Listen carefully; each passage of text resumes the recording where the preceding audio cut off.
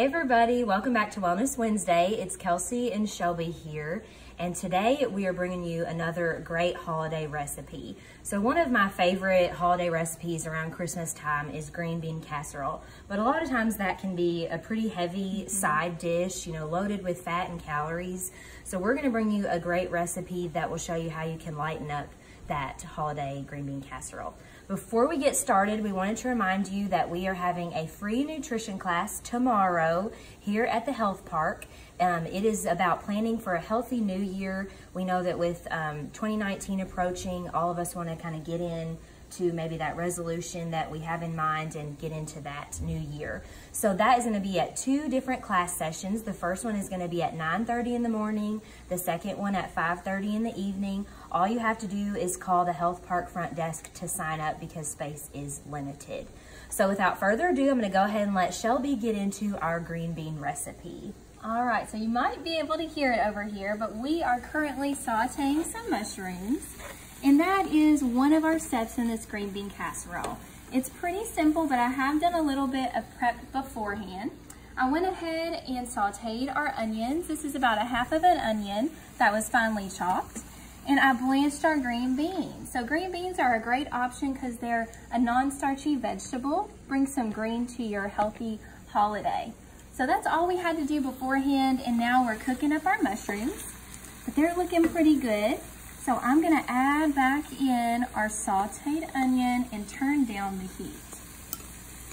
This is gonna be a great base and we're actually gonna make this um, a little bit thicker by adding a slurry. So a slurry is a liquid mixed with cornstarch. We're gonna do that with 3 fourths a cup of corn, or not corn stock, chicken stock, and two teaspoons of cornstarch. We're just gonna mix that together so it's nice and mixed.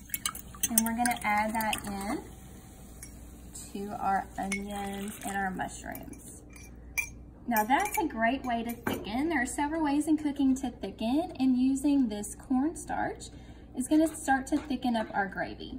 So this is a great alternative to that.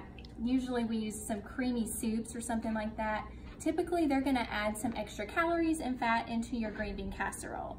So this is gonna add a lot less, but still have tons of flavor. So we can see things starting to thicken up. As they thicken up, we're gonna add in the rest. So I'm just gonna turn it up a little bit more. So next we're gonna add in our green beans. Just throw them right into the mix. And it's very, very fragrant. You can smell those mushrooms. Get everything mixed together here.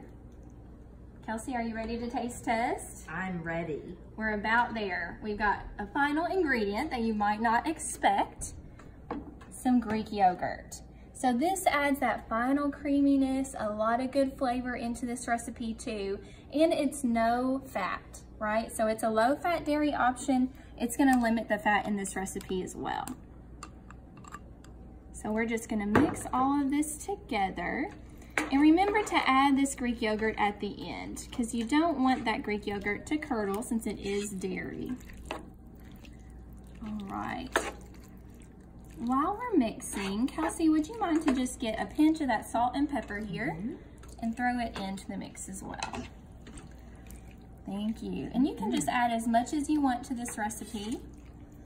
Some other tasty things that would go well in this recipe, maybe some slivered almonds or something like that. All right. And I'm just gonna finish mixing it up. But Kelsey, why don't you go in and try this? And it smells really good. I can really good. smell the onions and the, the mushrooms. Oh yeah. I love mushrooms. Me too. Great way to get an extra veggie in. Mm-hmm. Good. So we like really it. good. Mm-hmm. Awesome. A cool alternative to your typical. It's great. You want to serve this warm, so go ahead and make it just right before you see everybody at um, Christmas. But definitely give it a try.